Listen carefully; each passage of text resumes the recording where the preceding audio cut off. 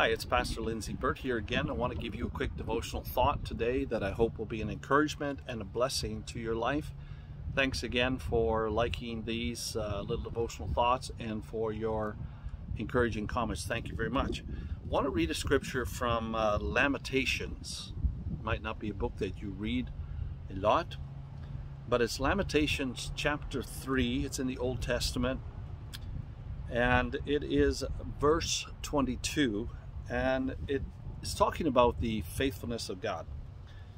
And it says, The faithfulness of the Lord never ends. Never is a long, long time. It says, His mercy never ceases. Great is thy faithfulness, O Lord. It says, His mercy begins afresh each morning.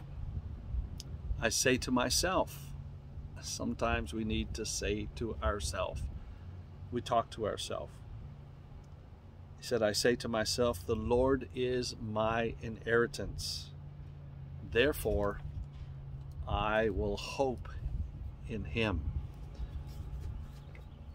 Some of you are familiar with the Anne of Green Gables series, TV series. Some of you may have read the books by Lucy Maud about Anne of Green Gables.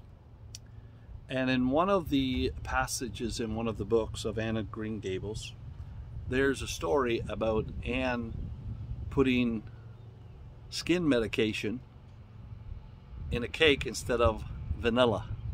She made the mistake. She thought it was vanilla, but she put it in the cake. Not a good idea. Afterwards, she explains hopefully to her stern-faced guardian, Marilla. She says, Marilla, this is in Anne's style, by the way. Marilla, isn't it nice to think that tomorrow does not have any mistakes in it yet? No mistakes in tomorrow yet, Marilla. Wow. Think about that for a moment. Maybe you've made some mistakes today. Maybe there's some things you should have done that you didn't do. Maybe there's some things that you shouldn't have done that you did do. Maybe you messed up big time today. Or maybe you messed up in a small way and you know that it's wrong. You know that it was foolish. It was a stupid thing to say. It was a stupid thing to do. And beyond that, maybe it, it's even a sinful thing to say or a sinful thing to do.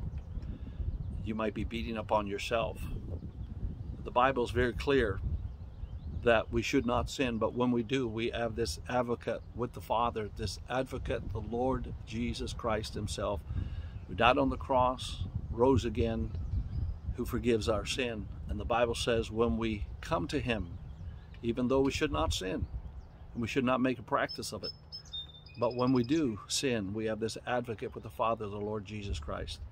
And we come sincerely to Him and ask His forgiveness. He embraces us, forgives us, cleanses us from our sin. And the Bible says He throws it into His sea of forgetfulness, never ever to be remembered again. And so if you've messed up today in a small way or a big day, remember tomorrow is a new day. And as it says in Lamentations, His mercies are renewed every morning because great is his faithfulness. I want to encourage you today to keep on keeping on with the Lord. If you need to ask his forgiveness, do it sincerely with purposefulness in your heart, not to repeat those same things again.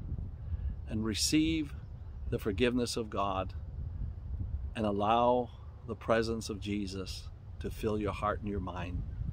Don't allow your future to be dictated by the mistakes of your past. That's what the devil will try to keep you focused on. All the problems, difficulties of the past, telling you you can't succeed.